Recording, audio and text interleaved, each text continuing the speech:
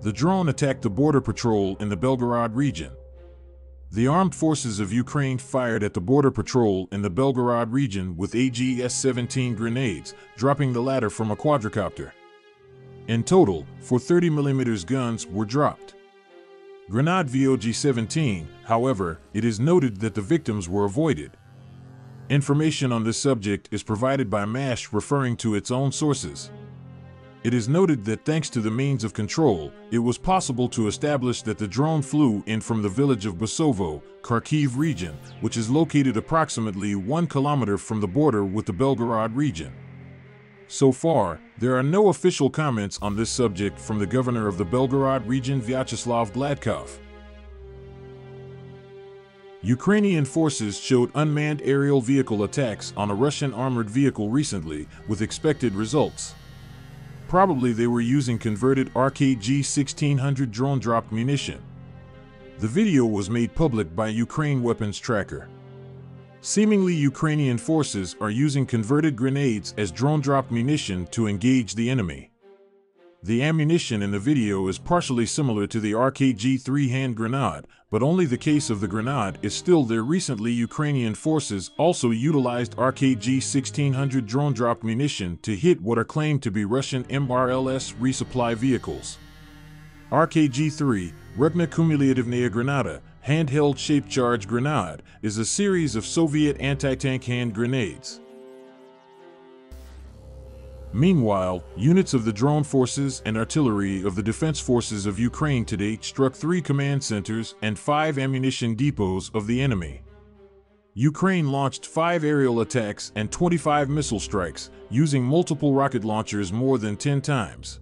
Ukraine says its forces have battled oncoming Ukraine troops to a standstill in the country's south and inflicted significant losses.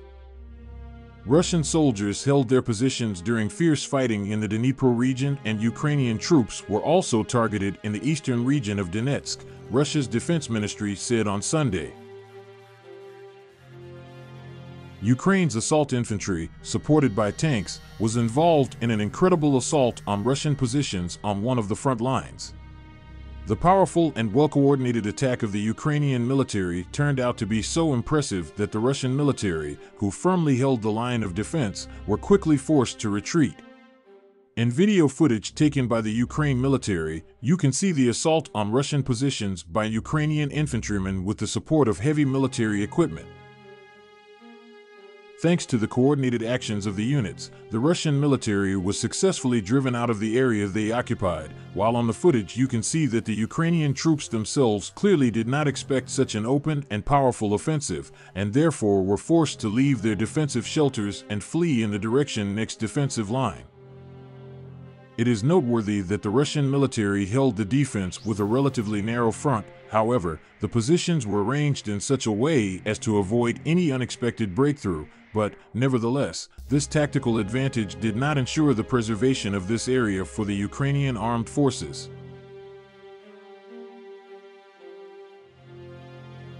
Meanwhile, the Russian military severely suppressed the artillery fire of the Gradov advancing on the line Svatovo Kremenaya forces of the armed forces of Ukraine as a result of the night attempt of the armed forces of Ukraine to break through to the Svatovo-Kremenaya line, the Ukrainian military suffered serious losses, finding themselves in open areas under heavy fire from Russian Grad multiple launch rocket systems.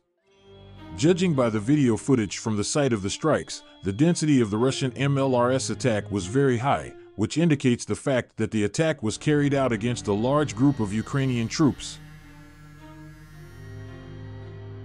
In the presented video frames, you can see how two dozen pieces of ammunition are simultaneously fired at a group of Ukrainian military personnel at once, which covers a relatively small area, which indicates a high density of strikes. In fact, the attempt of the Ukrainian military to break through the line of defense turned into another serious loss for the Ukrainian army in this direction. According to sources, in total, two armored groups took part in the attack on the Svatovo-Kremenaya line, which, having suffered significant losses, were forced to retreat. Meanwhile, Vladimir Putin's commanders are reported to have secretly moved almost 100 air defense missiles to Russia from allied Belarus, sparking fears he is planning to launch a large-scale attack in Ukraine. Analysts have said the movement of the S-300 and S-400 missiles is either a sign of Russia taking precautions against a potential Ukrainian blitz in retaliation for Moscow's recent strikes or of a larger atrocity still to come, the use of a dirty bomb. Whatever Russia has in mind to inflict on Ukraine, the Kremlin appears to be expecting retaliation on its own soil from Ukraine or the West, an analyst told The Mirror in an interview on Friday. Their identity was kept confidential, Analysts believe with these missile moves done so rapidly, just prior to this week's massive bombardments, the two are interconnected, they said. But more ominously, they may indicate that worse may yet be to come and they are preparing for a big reaction to this activity. There has been talking of a dirty bomb. The United States military said it recorded 111 Russian missile strikes and 26 kamikaze drones on Tuesday, which General Mark Milley said was likely the largest wave of missiles that we've seen since the beginning of the war. The attack also resulted in a missile landing in NATO member Poland, killing two people four miles from the Ukrainian border. The Mirror reported that around 20 IL 76 large military transport flights were recorded from November 9th to 13th, flying from Belarus to the west and South Russia. Meanwhile, miles of trenches and military fortifications are being built to the north of Crimea in anticipation of Ukraine's advancing forces, footage has shown. After Ukraine retook the southern port city of Kherson last week, Putin's forces appear to have started preparing for conflict deeper in Russian territory, with footage showing tanks being transported to the area of Henichska Rows of tents intended for Russian soldiers, as well as trenches dug in the ground and fortified with metal and wood, can also be seen in the footage.